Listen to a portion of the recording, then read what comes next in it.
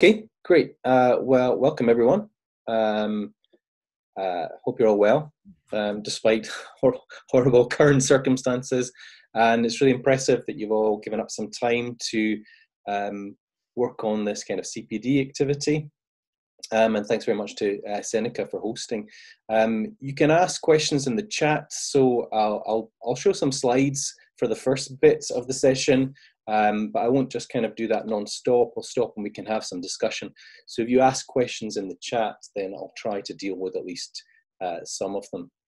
So the general uh, theme of uh, this morning is metacognition. Um, in a way, you can kind of think of like memory, metacognition, and misconceptions as being the, the broader theme, um, because uh, in terms of what I'm going to talk about, um, it's really focused on what people think about learning so that idea of thinking about learning, thinking about memory. And I think that um, as a teacher myself, one problem that we face uh, as teachers is that people often believe things about uh, learning that aren't true, or they don't understand their own learning. And sometimes as teachers, we don't necessarily know when something is being learned or not.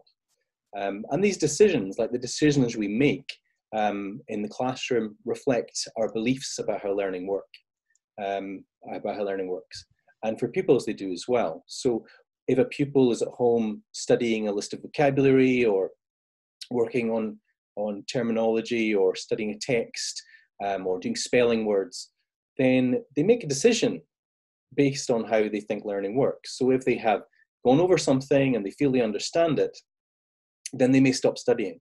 And that's based on their perception of whether they have learned it or not. And one of the main things I wanted to talk about to begin with is really the idea that these perceptions of when we have learned and when we haven't learned something are often very flawed.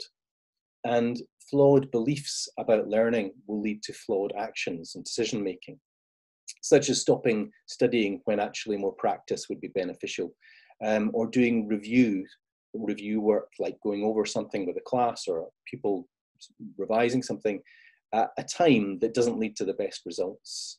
So um, I think the idea of, of, flawed beliefs about learning um, maybe sounds quite negative, but it, makes sense if you put it into a broader context. So in human psychology, we have a lot of flawed beliefs generally.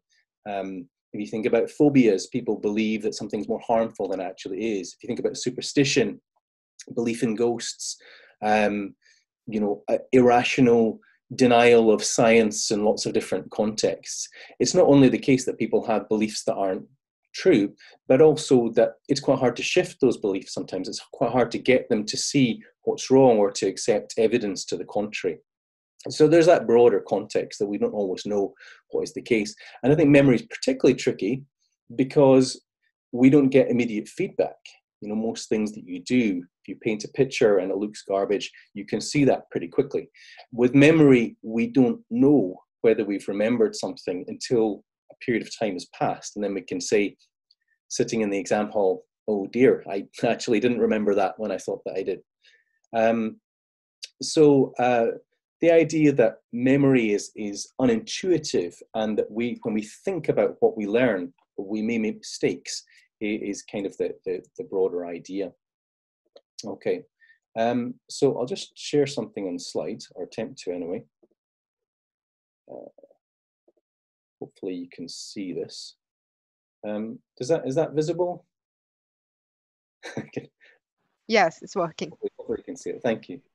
Um, so that's pretty much just what I'm saying um, so far is that uh, the decisions that we make either as teachers or learners, um, a situation happens such as I got something right in in a test or my class uh, answered a whole bunch of questions right at the end of the class. Um, and we then process that on the basis of our beliefs and our knowledge, and that can include our beliefs about how memory works. So maybe my class all get their answers right to an activity, and because I believe that that, that means that they've learned, the next action that I take it might be, well, okay, I don't need to touch that again until it's time for exam revision. Um, so that belief about whether learning is permanent or how much practice is necessary is going to um, affect the actions, It's going to feed into the actions. And having an accurate um, metacognitive understanding of learning is going to lead to successful actions um, and uh, having flawed beliefs is going to lead to less effective actions. And, uh, and the same, of course, goes for the learners themselves. So they make, make poor study decisions. And we know that a lot of the time, many, many learners make pretty poor study decisions.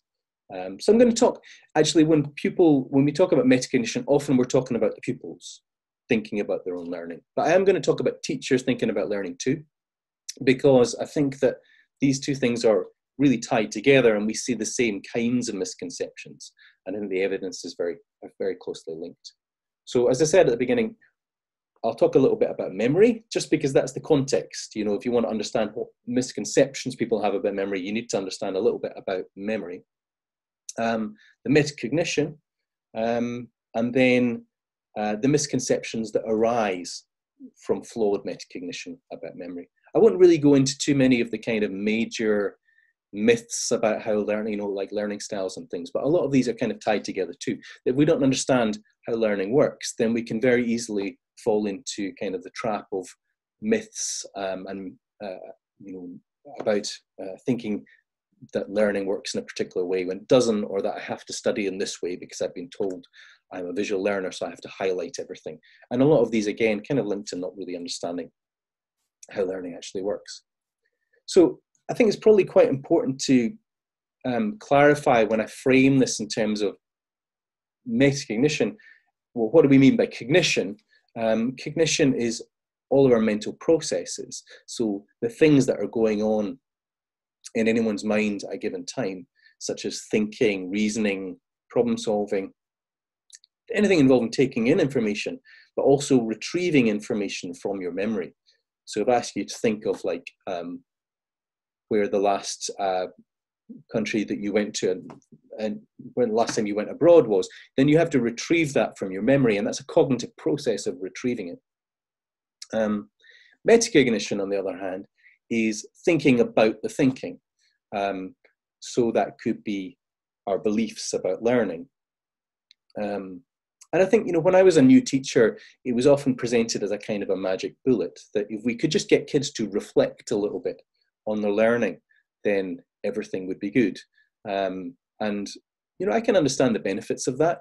If somebody is doing something like maths and you ask them to think about the process, or maybe think about what was the strategy you used last time, um, or to estimate what you think the answer is going to be before you solve it, you know, I can see the benefits of these. But there is one problem too, which is that asking learners to reflect on their own learning um, to some extent assumes that reflection is going to be accurate uh, and it may not be. And uh, it's a bit, a bit of a bit of a tangent, but we do this with teachers as well. So, like in terms of um, new teachers, uh, many of you probably were asked to be reflective, to reflect on your lessons. Um, and if you think about it, that only really makes sense if you understand how learning works. Because if we reflect on a lesson and say, well, hmm, I think that the learners like we're all doing pretty well. I think they learned that um, then that's you know it, did they? I mean, you know, it may not be accurate.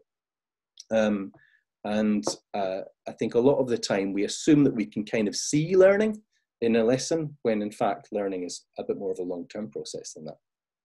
So in terms of learners themselves and teachers as well, what we don't realize we've made a mistake, what we think learning is happening, but it actually isn't. Um, so I would tend to see metacognition a bit more broadly as really any any cognitive process uh, reflecting on any other. So you could have beliefs about memory. You could also have memory of, of your beliefs. You could uh, think about um, uh, language processes or paying attention. Um, so that makes sense. So, you know, like if, if a learner says, for example, if a learner does a task and they get stuck, well, that's a cogn- that's cognition. They, they're, they're trying to do the task and maybe failing. But if the learner says, I'm stuck, I don't understand this, that, that's metacognitive because they're thinking about their own thought process. They're thinking about their own progress or their own ability. So anything where learners kind of reflect on their own ability or think ahead to what they're going to do, plan their study, all of these are, are kind of metacognition, uh, metacognitive processes. So some of the main questions then really um, I want to raise and, and think with you. And there'll be a chance, as I say, to I'll, I'll, I'll pause and after a couple more slides and give you a chance to ask questions. Is what are the flawed beliefs about thinking and learning and memory that people have, and why do they have them? and what are the implications for schools and for learning. So fairly broad, but I'll try to keep it um, as specific as I can. Um, I think, as I said, it's worth taking a minute to think about how memory works, um, which clearly is a massive area, and I can't talk about all of it. But just in general, um, to have some idea um, of what we mean by memory. I'm really talking about long term memory here. So, if something is going to be permanently stored in our memories, um, then uh, that, that's the sort of thing I'm talking about rather than the kind of working memory or cognitive load type of stuff, you know, which you might look at in other CPD um, experiences. Um, some of this might not be new to you if you've done uh, some of uh, Seneca's courses and such like. Um, but just to be clear, you know, memory is, as a psychologist views it, pretty fundamental to everything we do. We remember our own lives, our own experiences, we remember everything that happens to us. And to say that memory is fundamental to learning doesn't mean that we're advocating rote rehearsal, rote recall of things that we don't understand. Um, understanding is actually pretty fundamental to how memory works. We remember things much better if we understand them. Um, if you can, um, if you want to explain something to a, a, learner, it's much better if you can explain first the context so they have something to link it to. And that learner will then be able to remember it better in the future because they'll have more avenues to sort of thinking back and, and more pathways to recalling that information.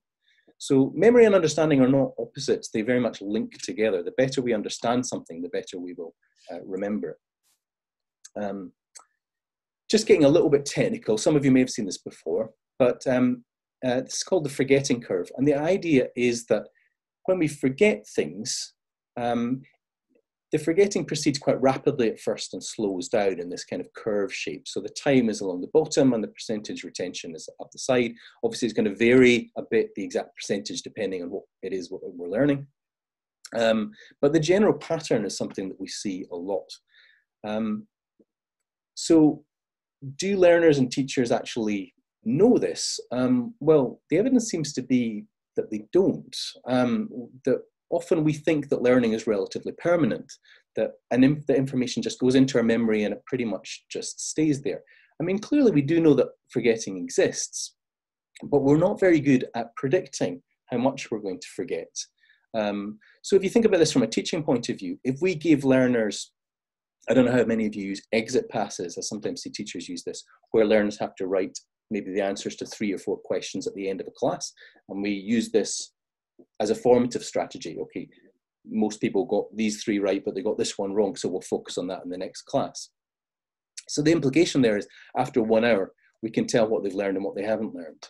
And I think the forgetting curve shows that's not really the case. Um, that actually you can remember something after an hour, but it's then still going to be subject to a lot of forgetting um, after that. Really interesting study that was reported by uh, Veronica Yan and colleagues um, they, they gave people a list of words and asked them to predict how many they would, how much they would remember after 10 minutes. Um, and most people, the average was something like 40%. So they recognized they would forget some of this list. Um, and that's, you know, that's probably fairly accurate. They asked a different group, and uh, they gave them the same list, and they asked them, how many of these do you think you'll remember after a year? And the average was also around about 40%. So what, what, you know, in reality, they probably wouldn't even remember they'd done the task. So what, what I think this shows is that we do acknowledge that forgetting exists, but we're not very good at predicting what we're going to forget and what we're not going to forget. There's a sort of permanence, um, uh, according to some researchers, that learners tend to underestimate forgetting, but they also underestimate practice. They, they expect that what is in my memory now is pretty much going to stay unchanged. Um, and what this means, a really useful distinction that's made by um, Yan and Bjork and, and colleagues, is that um, we can distinguish between uh, performance and learning. What we see in the short term, and I don't just mean I don't mean short-term memory over a few seconds, but what we can see over like one or two classes is more relative. More, we can relate this to performance. This is what somebody can do now. Um, but what we really want is learning, something that's retained permanently and we can distinguish between the two.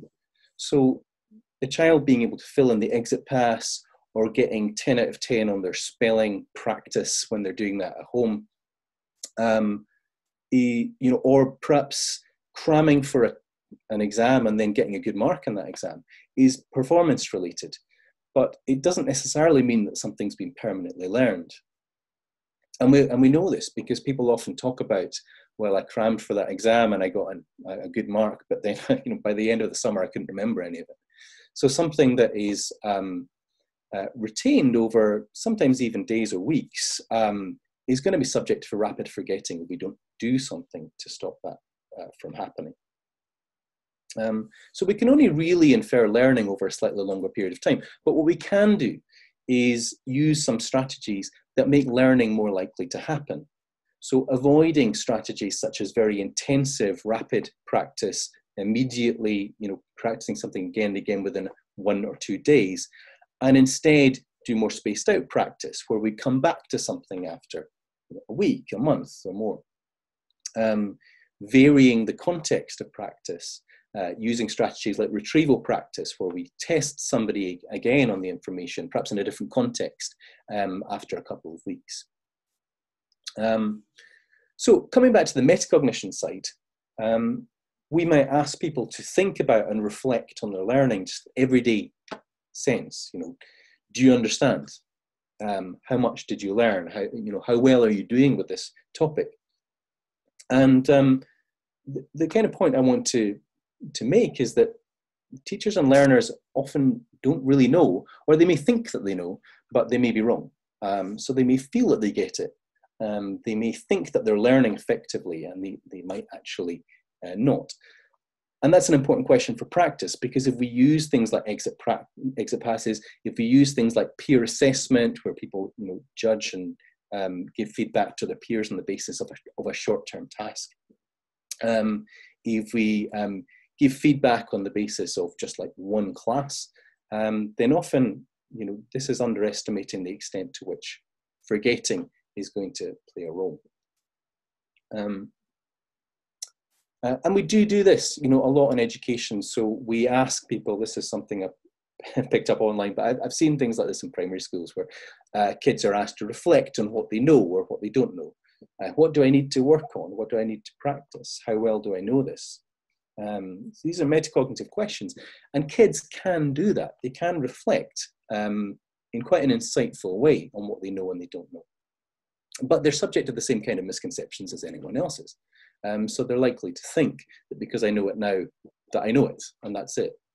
Um, when it comes to older learners, they may be having to take notes independently.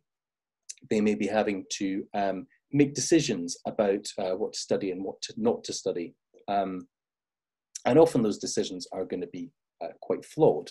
Um, they're going to uh, think that they've got something because they spent an afternoon working on it and that kind of thing.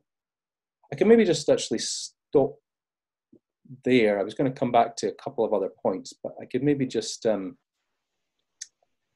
uh, pause if that's okay, Flavia. Yeah. just uh, take out any questions, and then I want to just say a couple of other. I've just got a couple more slides to say about um, some of the evidence behind why we think that people tend to misunderstand memory. Um, yes. Are there any questions at this point? If there's right. not, then I'll. All right. Uh, thank you, Jonathan. That was very great. Um, let's do a chat first before I start unmuting everybody. Uh, does anybody have a question for Jonathan? Can you just say yes me on the chat and then I'll unmute you only because otherwise we'll get a bit crazy on the thing. Uh, while you think about, I do have a question for Jonathan. Oh, actually somebody does. Sure. Can you see the chat? Um, yeah, so that's a good question. So are they? I'm not saying. So I perhaps should have made that clear. I'm not saying that exit tickets and things like that are bad or pointless. I mean, an exit ticket is quite a good thing in a way because you're doing retrieval practice. You're you're consolidating. You're asking learners to actively retrieve something from memory. The trouble is to say that um, it's it's what we judge from that. So um, we can't say that the, the kid knows it, that they've learned it just on the basis of that. Um, it's still indicates that they, they have taken something in. It's better than them not being able to answer it. Um, but the, the important thing is just to recognize that forgetting that's going to occur after that point. So I can study, I mean, I do like the Duolingo language learning. you know, and I feel I know something quite well after I've done like one five minute lesson. Um, but am I still going to remember it the next day? Probably not. So um, it's just what we, it's, it's the judgments that we make on the basis of those exit tickets. It's it's quite good perhaps to in, to uh, get some feedback on what was successful in the classroom and what wasn't. But we can't assume that they permanently learned it just because they've answered it at the end of the class or that we don't need to revise it. Um, yeah. There's another question from Brett now. How does, how does this impact teaching? teaching? Yeah. Yeah, I mean, I think that um, I'm actually I'm going to come back to that in a minute, Brett. But yeah, you know what we can actually do um, in terms of what we could say to learners, how we could start building a, a greater metacognitive awareness. So that's a really good question as well. Um, do you think the word learning causes some confusion? Um, yeah, probably. I mean, uh, learning is quite broad, so we could talk about learning as a bit, a bit, of a mixed bag of different things. So that's why I sometimes prefer to talk about long-term memory and understanding and these other things and things like attention and problem solving that have slightly more precise definitions. But um, um, but a lot of the researchers, when they use learning, they're basically meaning retaining something relatively permanently um, in a way that you can then use that information in the future and transfer it to new contexts. Um, how often do we need to retrieve something for it to become permanent?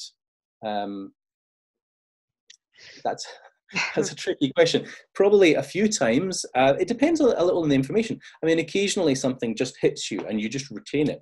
Um, other things you need to practice a lot. So things that don't have an awful lot of meaningful connection to stuff you already know are probably going to need more repetition. Things that seem fairly abstract. You know, sometimes in a classroom you say, listen, I know this doesn't make an awful lot of sense at first, but we just need to, you just need to accept this is true. And then you'll kind of, all fit together later. So in those situations, because there's not much meaningful understanding, um, we probably need to repeat it and retrieve it more.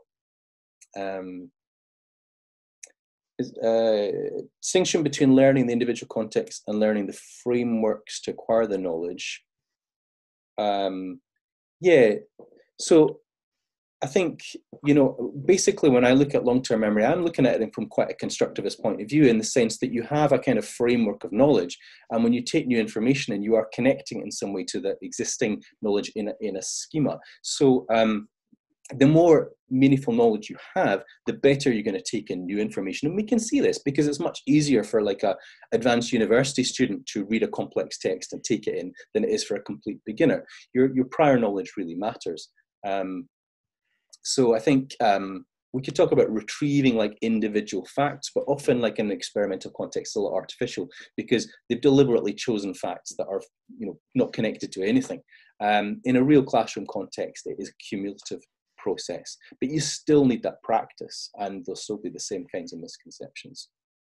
Um, weekly low stakes testing. Yeah, I mean, weekly low stakes testing is good. I mean, should it be weekly? Uh, weekly is perhaps an easy one to organize. Um, there could be an argument if they're managing it like after like one week and two weeks and three weeks, then, then you can probably leave it for a couple of months because it becomes a bit too easy um, if they just do the same thing every week. Um, but then maybe when you say that, you're talking about retrieving different information, in which case you could start interleaving some of the old ones into the later weekly testing. Um, in terms of reflection, reflections and assessments and summative assessments, yeah, um, yeah, I think again just this idea that that we don't generally really understand how memory works. So learners may make the uh, may make the assumption that because they got you know 80 90% on their assessment that I, am good at that. I know that stuff. Um, and just to try and build a dialogue where they recognize that actually a lot of that will be forgotten uh, relatively quickly. Um, and even the stuff that they know well will will eventually be um, forgotten or at least very hard for them to retrieve from memory um, without some practice. So you know how things that you know, like from your childhood, they're not so fresh in your mind, or a language that you used to speak and now you've you haven't spoken it for a couple of years, it gets rusty. It's still in your memory, but it's quite hard to retrieve. Um, language learning, focus on speaking, enhance understanding and recall. Um, I'd imagine so. Um, that's a tricky one.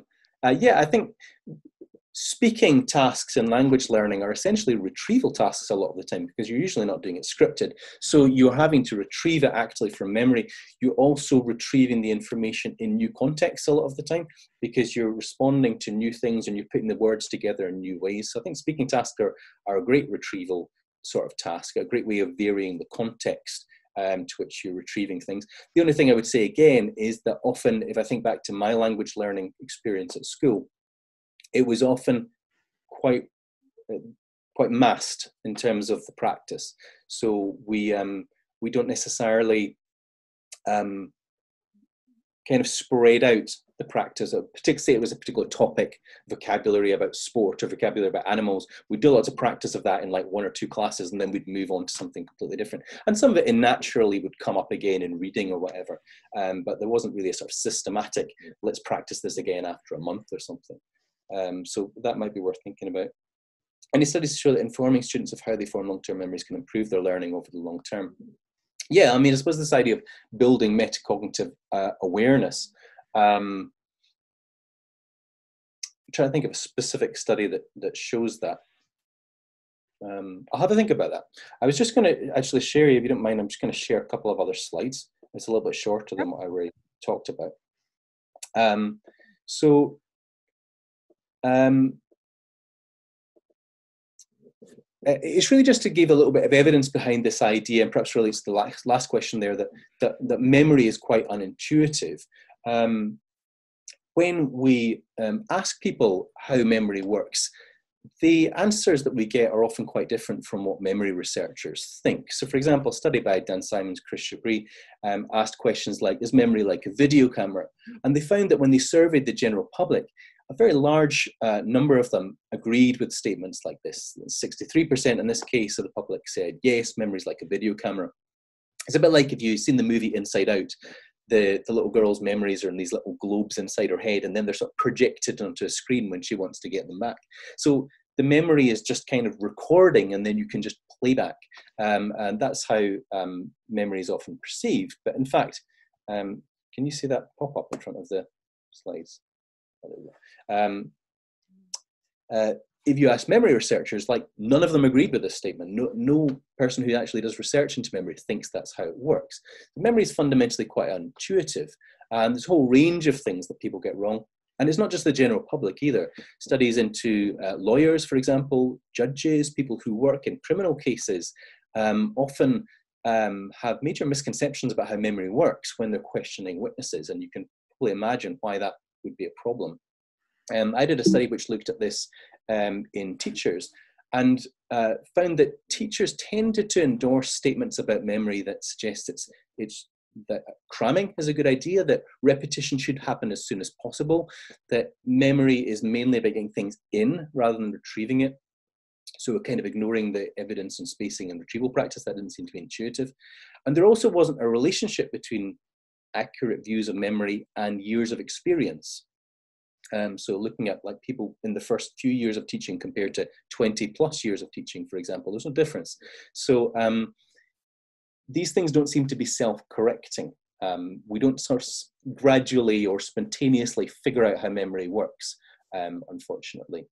Um, so I suppose then coming back to this point about how learners uh, study, um, do they know how best to study? We might say to kids, I'm sure I've said this to my own kids as well as my own pupils, you know, work hard, study hard. But if they don't actually know how to do it, um, that's potentially um, going to be a problem. Um, some of the more effective approaches that you may have seen recommended, things like spacing out um, their study, and this is not just something we can do in the classroom, but it's also something to recommend um, to pupils, that longer study sessions could be split into several shorter ones, for example. Um, active retrieval practice, that they could test themselves, they could test a peer, and perhaps varying the context of their learning. So they're getting different context cues by studying in different places and making meaningful links by learning the stuff in different like meaningful contexts like reading about it in connection to different topics and so on perhaps interleaving some of their um, topic learning as well um, you probably come across the idea of retrieval practice if not it's just the idea that actively retrieving information is a key part of building new memories. So memory, as I just said, was not one way. It's not just about getting the input into your memory. That's part of the process, but you have to then build that memory by using the information. We probably all find that as teachers when we um, learn people's names. You know, it's quite hard to learn people's names if you just kind of like read them off the register. But when you're actively sort of retrieving the people's names and, and speaking to them, it helps to build that memory um, quite quickly. And, and actually learning people's names is naturally quite spaced out because we see the pupils, you know, maybe every week or, you know, a few times every week or whatever. Um, if we just saw the pupils a couple of times, um, took in their names passively, and then test ourselves on it three months later, I'm sure you could all see that we probably wouldn't do very well in terms of remembering them. Um, but also, and perhaps relate to that last question about, you know, what, what studies have shown that this can improve, can be improved in pupils, um, building a dialogue with pupils and parents about how to understand how learning works. Um, even very young children can talk about metacognition. So a couple of my colleagues did a study where they showed um, uh, children pictures of other children in various different contexts. And one that they showed was kids in the playground. And they said things like, Are they learning? And the kids tended to say, No, those kids are not learning. So they would say, Well, why not? Uh, and, the, and the children, this is age like five or six, they would say, Well, there's no books, there's no teacher, there's no uh, worksheets. Um, so they had this idea that learning only happens indoors and you know in a classroom setting. So what that shows is they have quite a, a, sophisticated idea of what learning is and they can talk about it, but they also have certain misconceptions. So I would think really from an early age to build a dialogue about how we learn. Um, there have been some reviews um, about um, you know building metacognitive awareness, and most of them seem to suggest that it's good to use the terminology with kids. It's good to start with from an early age it's good to model it. So you might say, we're doing this practice test because this is how your memory works, because forgetting happens quite rapidly. Um, and rather than doing what I quite often see is schools doing this only when kids start sort of GCSE age. Now we're going to start talking about study skills. But I would say start right from the beginning. You know, I mean, why waste the first, not waste, but, you know, why spend the first eight, nine years of schooling not talking about this and then say, well, now you're 14 or 15 years old. Now we're going to talk about how your memory works. Um, I would suggest that this is a cumulative process and it would be a good idea to talk about it um, from an early age so they start to build a, a sophisticated understanding. Um, uh, so I guess that just, just to kind of sum up really, um, beliefs about memory a form of metacognition and I'm just kind of questioning, can we accurately judge things like learning, forgetting, the need for practice. Um, being able to accurately judge these is important for, for teachers and also for the learners um, themselves. There's a nice little quote here from Dunning. You might have heard of the Dunning-Kruger effect, which is the idea that some people, sometimes people are um, too ignorant to realize how ignorant they are. Um, so uh, David Dunning said, "We don't, we tend not to know where the solid land of knowledge ends and slippery shores of ignorance begin." And I think this is very much true with learning. Is we don't know if we don't know, and um, when it comes to pupils, they're not going, they're going to have misconceptions um, if we as the professionals um, don't do something to try and um, to try and tackle those misconceptions. Really. Uh, so. Um, hopefully that kind of like touches on, on a few of the issues people were raising. See if there's any other questions on the on the chat. Um, uh, Jonathan. Yeah, sorry. I have a question before you go back to the chat. Um, because everybody's at home, do you have any suggestions of books or podcasts that we can listen or read that talk about metacognition if you want to know more about it? Uh, for teachers, you mean, or for like parents and the kids? Teachers, I'd say. But, yeah. yeah. Um, I think the the EEF report on metacognition was pretty good. Um, that's very accessible. Um, so I can remember it's like maybe about eight pages or something like that, and it had quite a lot of diagrams, so it's not too dense. Mm-hmm. Um, but it has a lot, you know, a good summary of a lot of the research that's been done on metacognition. I think it um, hopefully fits fairly well with um, what I've said today. Um, beyond that, um, I mean, actually, there's quite a few books that talk about um, learning and memory, but there's maybe not as many that talk about metacognition mm. and beliefs about learning. Um, uh, think of yeah. any book specifically on metacognition. If I, if I think of one, I'll, I'll, I'll let you yeah, know. Yeah, you share. Uh, I want to say to everybody that at Seneca we do have a free CPD course that Jonathan wrote all about metacognition. So that's a great starting point if you want to know more about what Jonathan's been saying. And this conversation, you can, I'll share the link. And if Jonathan agrees, I'll share the slides as well. Is that okay? Sure. Yeah. And so, then I'll add the link to the course and the link to Jonathan's contact and Twitter. Uh, so yeah, there are some more questions on the chat now.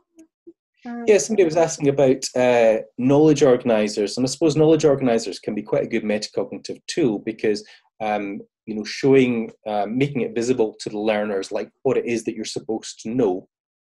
Um, um in terms of pupils having them, um, well, I think there can be a little bit. You see this with with university students as well. That having the stuff and knowing the stuff is two different things, as your question uh, implies. And that you know, if you if you have a lot of notes, I certainly always used to find. Um, I'm working in university now, but for most of my career, I worked in a secondary school. And the kids wanted the notes, they wanted the slides, they wanted to take photos of the slides. They would kind of flip through powerpoints, but that's a different thing from actually having it in your memory.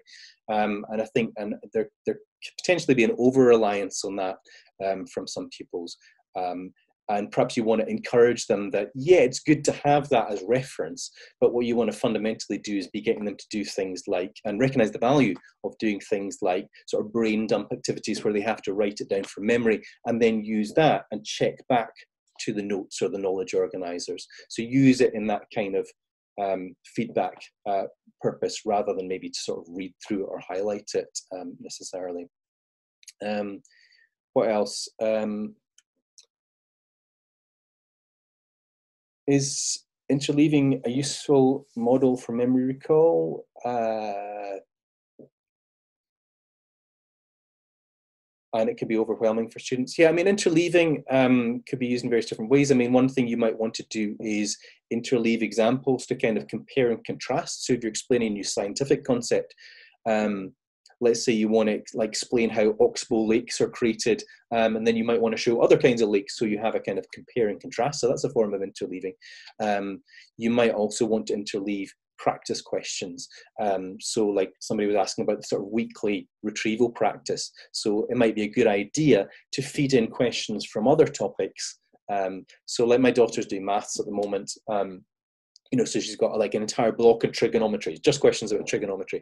And then there's an entire block on polynomials, and it's just questions about polynomials. So actually mixing together some of these questions, firstly, that spaces out the practice, and it also helps them to kind of compare and contrast. But you're right, then I've certainly found this as well in the classroom.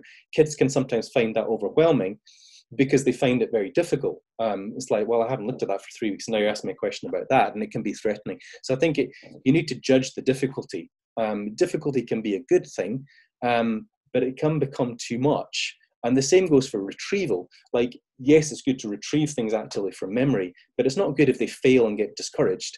So, um, if they're finding the retrieval from memory quite hard, then you might want to prompt them, um, give them the first letter, give them a hint. It's better that it's successful, even if you need to kind of lead them to the answer, um, rather than for them to think, you know, because another sort of metacognitive belief is I'm rubbish, I'm stupid, I don't know it, I'm going to fail. So you don't want them to have these kind of negative um, views of their own learning. I think kind of on that topic, so it's a little bit of a tangent, but um, you want to encourage um, the, the, the emphasis on memory, partly because it goes away from that. It's not about ability. It's not about, well, you're either good at this or you're bad at it, but it's about practice. It's about, well, if you do this in the right way for the right amount of time and with the right kind of schedule, you will know it. And um, anyone can do this. It's not something that is only the A grade students are going to do well. And there's certainly plenty of evidence that pupils can boost their grades um, by using some of these techniques like interleaving and retrieval practice, like classroom based evidence. Um, so, somebody's mentioned the EEF, Brett. Um, one of the best forms of improving learning for least investment. Are there any easy wins in classroom practice that you can suggest? Um, I mean, in a way, it is quite an easy win, I think, to start talking to learners about how memory works. I remember speaking to my, because I used to speak, teach a lot of sixth form pupils who were studying for exams and just about to go off to university. And I remember telling them about things like the forgetting curve and spacing effect, and they were just baffled that nobody had mentioned this before. It's like we've been at school for 12 years and nobody mentioned it. Uh, so I, th- I think I, I, certainly found it helped to give them a bit of the evidence. So it wasn't just believe this because I'm a teacher and I'm the authority, but it was like, well, let's look at some of the um, evidence behind it. Let's look at some of the you know research that shows how this works, um, and perhaps actually try it out. You know, so try out some little classroom experiments is a really good way of getting them to get their heads around um, how things like forgetting actually happen. And it's not terribly time consuming, and it can be done in the context of learning a, a, task. So if you're doing some vocabulary learning, for example, you could actually turn that into kind of an experiment and say, well, let's let's see what percentage of this we remember tomorrow. Um, so I think starting to talk about it is, in a way, quite an easy win. And you often find that learners are, um, you know, quite on board with this because if you say, well, this is a way you can improve your grades, and all you need to do is maybe change the timing of what you do, or just study in a slightly different way, um, then um, I think that that benefits everybody really. Um, so yes, I would say you know improving their understanding of memory and talking about it, making sure that they understand why uh, they're doing this and that they're they have some ownership of it as well. Um, is there Seneca learning? Maybe Flavia, you want to answer this. is there a uh, Seneca learning module in metacognition? Yeah, we don't have one made specifically for students. What do you think about yours? Do you think, Jonathan, do you think that's only for teachers or could we give that to students as well? Maybe we should think about um, adapting it and doing a version yeah. for, for pupils. Yeah that is a, a good idea. Yeah, we can think about taking the CPD courses and making them along a different version for students because it is important that they know it as well, not just yeah. us. I, yeah, yeah, I agree. Uh, mm. another question there. Time for one more? Yeah, time for one more. really relevant question there about now we're working from home. People's are, you know, how do we check learners' understanding? It's pretty hard to do, um, you know, from a distance. I think um, I, I, completely understand the frustration that this can cause, you know, because you may have some engaged peoples who are submitting things to you in contact with you and others who are kind of going able and it's pretty difficult to check on them. Um, I think this idea that to, for learners to understand the learning process is, you know, even more important in a way when we talk about independent learning. So that's true of homework, it's true of revision. And in this current situation, it's really, really important that they actually know how to do things effectively, they know how to self test, um, they've got some idea of schedule. But it could be worth thinking about in terms of things like I know everyone's going to be slightly different with this, but in terms of things like what you set, what tasks you set, um, again, maybe setting a lot of review tasks, setting kind of formative tasks. Maybe rather than setting here's the task to do, more kind of set a sorry, my dog is excited about something. Uh, setting something that will be more about helping them to identify gaps in their knowledge, so they can then say, well, I don't need to um, prioritize this, but I need to prioritize that. But at the same time, like I've pretty much been saying about formative assessment, we need to recognize that because they know it now doesn't necessarily mean they're going to know it in six months' time. So um, I think, yeah, very valuable to build um, their understanding of forgetting and the importance of a good a good study schedule. Okay, I think uh, Zoom has a time limit, so I don't know how much more we can continue. But I think that's been really, really useful, really great. Jonathan, thank you very much. I will be sharing the slides, and uh, this whole thing is being recorded, so we will post that on our Seneca page somewhere, so everybody can access the video as well uh, later if you want to get back to it. There is a course on Seneca Learning. I'll share the slides, and Jonathan, do you want to give them your Twitter handle or email address if they want to get in touch with you, please? Oh yeah, I could type it into chat, couldn't I? So it's at GW underscore Firth um, on Twitter, and yeah. uh, there's a link on there to also to um,